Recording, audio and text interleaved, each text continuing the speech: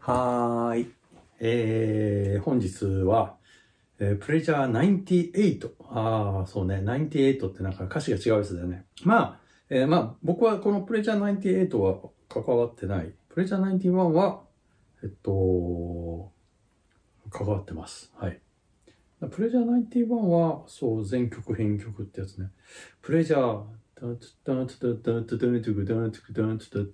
だから、あれはシンセベースですね。はい。なんでベース弾いてるわけないっすって感じ。まあそういう時期だよね。ああ、なんかプレジャーってなんかいっぱいやってるというか、やっぱりその時その時の、まあだからなんかプレジャーって、稲葉くんの日記なんだよね。日記っていうか、だからその人生のこうフェーズ、こういろんな局面によって、なんか、うん、まあ稲葉くんというかな、ファンの人の、と時代がこう、どんどん変わっていくところに合わせてなんかいろいろ。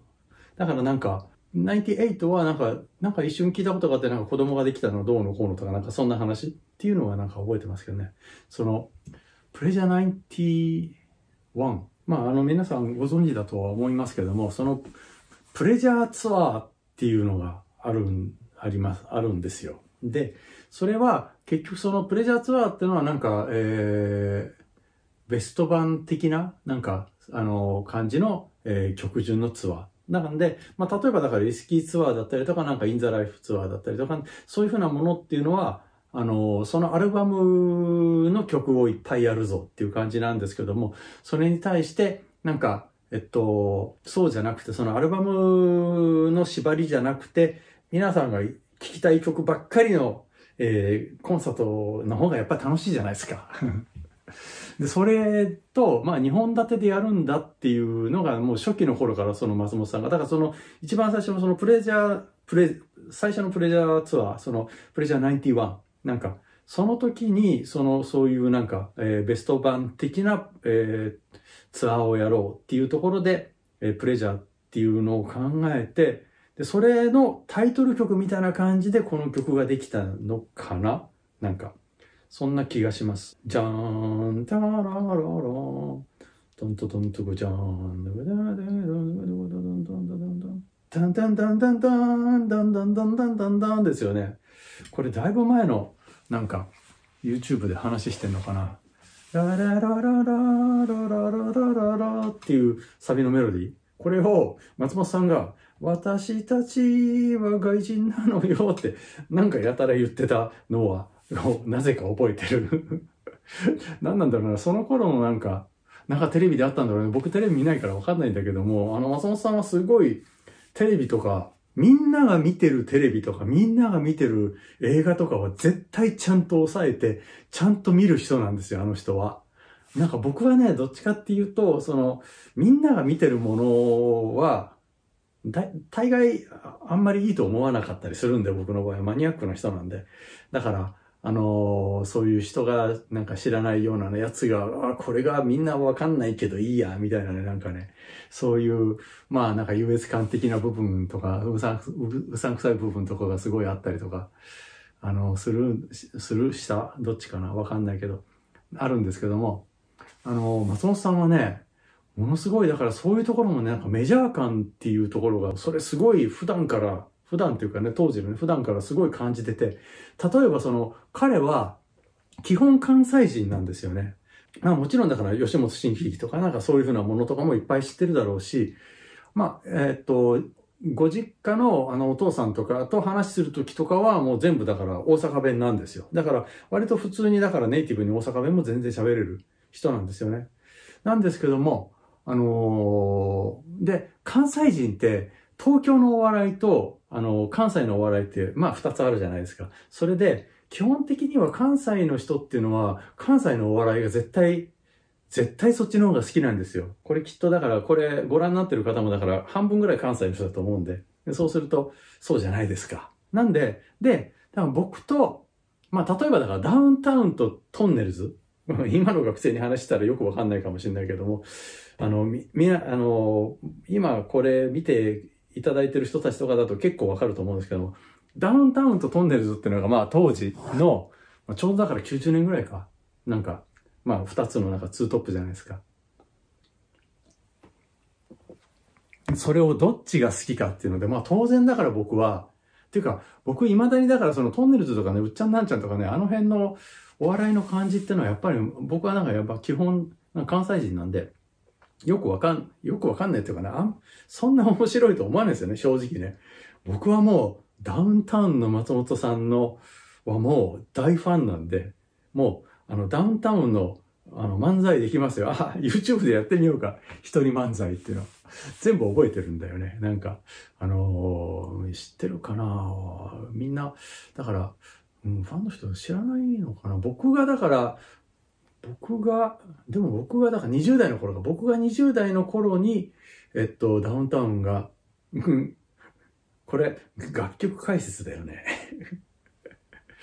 えっと、20代の頃にね、あの、あの、売れてなくて一生懸命やってたの。で、僕ね、また全然違う話していい？あの、ものすごく才能がある人を見つけるのものすごく得意なのね。だから、後に売れる人が全然売れてない時に、この人絶対売れるっていうのの感覚が、なぜかすごいあるんだよね。まあだからそれがだから、まあ松本さんとかは全然そういう、もう僕が知った時にはもう売れてる人なんで、そういうんじゃないんだけども、稲葉はだから絶対に売れると思ってた。それもあるし、まあ、あの、ティーボラの松本、松本じゃない、ティーボランは森友だ。森友とか、あとだからあの、ザードの酒井さんとかも、だからグッバイマーロンリネスの最初の、えっと、仮歌を聞いた瞬間に、あ、これ売れるって思ったし、で、もう自分と全然関係ないところで、例えば、えっと、ダウンタウン。もうだから僕が大阪にいた頃、大丈夫かな？こんな話してて。大丈夫？あの、いいよ。だから、あの、つまんなかったら、あの、消していいよっていうか言わなくても消すわな。僕はだから20代の頃は大阪にいてですね。で、そこで、こう、テレビとかもまだ見てたりしたわけなんですよ。なんかお笑いは好きだから。で、いろいろやってる時に、えー、お笑い番組でお笑いしか見てないんだよね。なんか。で、その時にダウンタウンが全然、あの、売れてない時に出て、で、ダウンタウンの漫才を見て、それこそだからその、誘拐のネタとかクイズのネタとか、うん、知らないと思いますけども。で、それとかを、あの、YouTube には、あの、アップされてますけど。で、それを見た瞬間に、こいつ天才やってなんかね、家で言ってた覚えがあるんですよね。こいつ絶対売れるとかつって。なんかね、視点が全然違うんですよね、なんか。うん。なんかすごい、だから未だにもうすごい大好きっていうかね、まあ別に最近全然見てないですけども。まあおそらくだからもうずっと好きだと思いますね、なんか。で、あとはね、あの、今思いつくの感じ、あの、思いつく感じだと、中田康隆っているじゃないですか。まあ、さすがにだから、今見てる人たちは、まあ、そんなにまあ、わかんないけども、まあ、一応名前は知ってるじゃないですか。例えば、だから、キャリパミュー、キャリパミューとか、パフュームとか、そういうののプロデューサーなんですよね。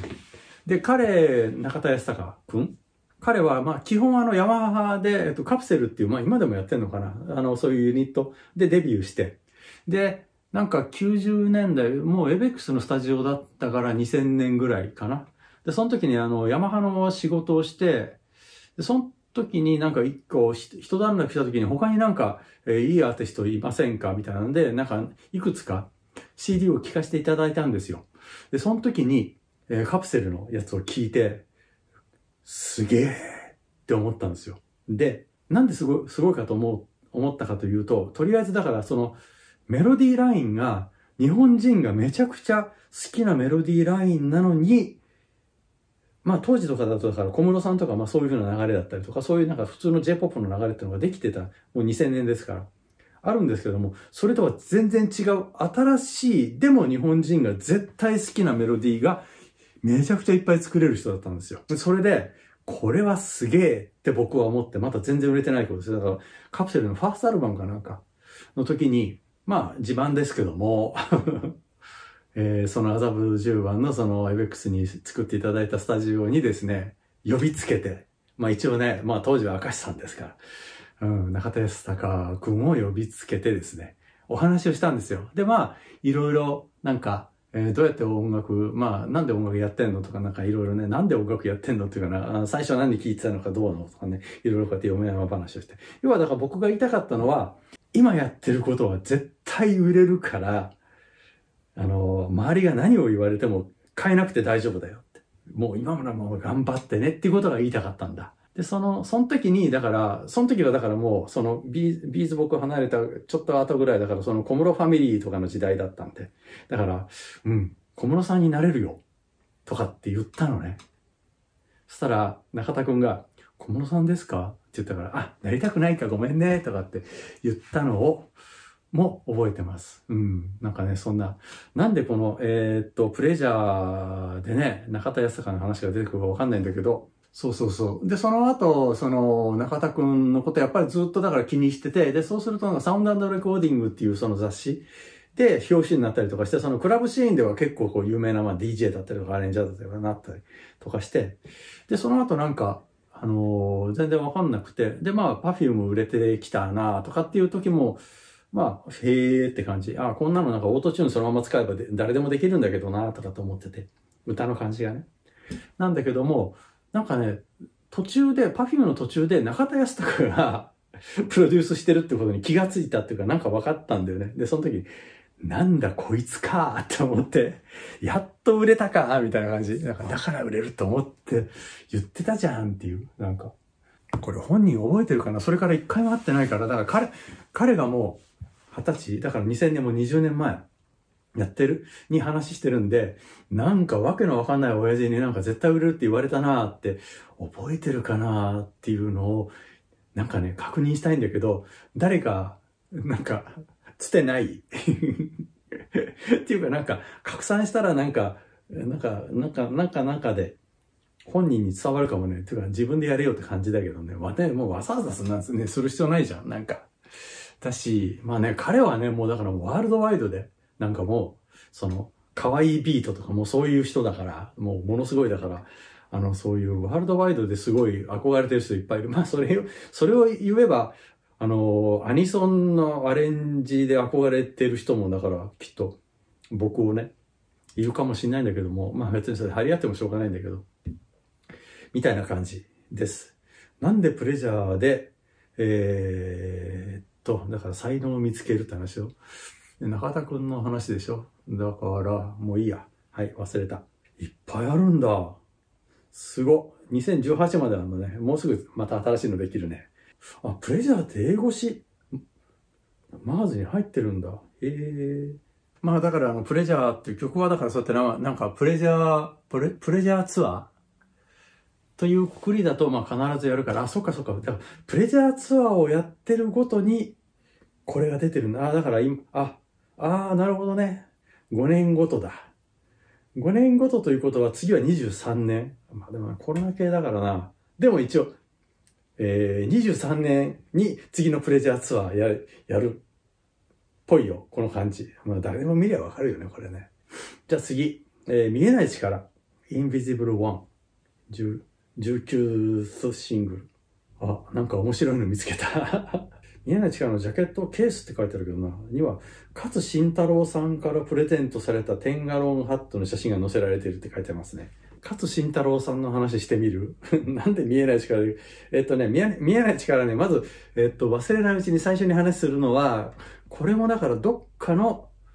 YouTube で話したのか、もしかしたら誰かのビデオレターとかで話しただけなのかもしれない。えー、クラウドファンディングとかやるときに、あの、ビデオレターの、あの、リターンとかをよくやるじゃないですか。で、そうすると、なんかあの、ベースの弾いてみたとかの、あの、映像を送るんで、なんかリクエスト曲ありますか？みたいな。いろんなのをやりましたよ。そのビデオレター。その、クラウドファンディングの、その、リターンのビデオレターで、もう言われてできることは何でもやるんで、で、その時にやっぱりその曲を言われる時に、その皆様お目が高いというか、よくベースこんなに聴いてるなみたいななんか、まあ僕のファンの方々っていうのはベースがちゃんと聞こえる人たち、普通の人には聞こえてないですから。で、それでだからまあ当然だからネイティブダンスもあるし、まああれは誰でもわかるけど、で、その時にだから見えない力とかも言われるんですよね。まあ、ラブイズデッドとか。なんか、ああいうなんかベースラインがやっぱり美味しい感じのやつっていうのは、皆さんちゃんとだからリクエストしてくれて。で、その時になんか言ったのかな、その、ドゥンドゥンドゥンドゥデンドゥンデンドゥンドゥンドゥンドゥンドゥンドゥンドゥンドゥンドゥンドゥンドゥンってやつ。ドゥンドゥンドゥンドゥンドゥンドゥンドゥンドゥンドゥンドゥンドゥンドゥンドゥンってやつ。あれっていうのは、ベース、ベーシスト的にはモータウンフレーズってやつで、あの、スティービー・ワンダーとかジャクソン5、あの、後のマイケル・ジャクソンがいたところ、ところとかの、その、黒人音楽、ブラックミュージックのレーベルで、すごい、だからダイアナ・ロスとか、ものすごいいっぱいヒットを出した人たちなんですよね。割と、ビーイングと、なんか、えっと、手法は似てるんで、まあ、同じ作家と同じアレンジャーと同じ、えっと、ミュージシャンと、で、それで、えっ、と、スタジオなんか小さい、まだなんかお金なかったから小さいスタジオで、なんかやってっていう、そういう、あの、ところでもう世界的な大ヒットいっぱい出したっていう。まあだからね、だからマイケル・ジャクソンとかスティービー・ワンダーとかいるんだけども、そのモータウンってやつ、それのベースラインっていうのが、その、割と特徴的で、まあだからめちゃくちゃヒットしたからみんな、あの、コピーするわけで、僕の大、大好きというかまあ二大影響を受けたのの一つのレッド・ツェペリンの、えー、ジョン・ポール・ジョーンズっていうのは、基本、ジョン・ポール・ジョーンズっていう方はですね、基本的にはそのモータウンフレーズっていうのが基本。ジョン・ポール・ジョーンズじゃないや、レッド・ツェペリンのなんかコンサート見に行った時のなんかパンフレットとかも買ってさ、みんな、みんなと一緒でさ。で、そこになんかいろんなこと書いてあって、そこのとこになんか、ジョン・ポール・ジョーンズがなんかこう、モータウンフレーズから離れられない離れられないのが嫌だな、みたいなことが書いてあったりとかして、モーターフレーズって何なんだろうとかと思ってたんだけど、まあ、だから、まあ今はだだんだん分かってきて、その、まああの、見えない力のあのテンポって言うと、タンツトゥンパンツタンツクトンとかだと、まあ、一応だからファ、一番最初にだからベーシスト的に聞いたとところだから当然だからドンドンダンドデンドゥデンドゥドゥドンドンデンドゥデンデンデンって弾きたくなるんですけども、それって結局その、え、っと、1900、モータウンだから1960年代とかの音楽なんですよね。で、そっから、えっと、レッド・ツェッペリンとかに来て70年代とかもやってるんで、そのモータウンのフレーズとかっていうのは、僕の中では、今やると古臭いんじゃねえかなっていうのがすごいあって、思いついたんですけども、あえて弾かなかったんですよ。レコーディングの時に。割と全然違う感じで、も、もっと全然だからあんな派手な、じゃない感じ。で弾いたんですよね。で、そうするとね、その時ちょうどだから増田くんが、あの、キーボードで、あの、同時に来てて、で、あの、増田くんが言ったんですよね、なんか、なんで若狭さん、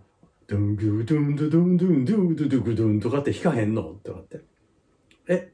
で、それを聞いて、で、なんか、あのー、え、それ弾いていいかなとかって、いや、それ弾くんちゃうみたいな感じ。で、それで、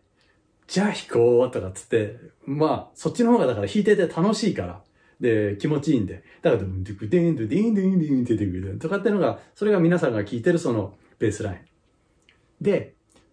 結局だからその、僕がその一番ファーストアイデアでそれを弾いてしまうと、それをもし松本さんとか稲葉くんとかが、なんか古臭いベースラインだなーって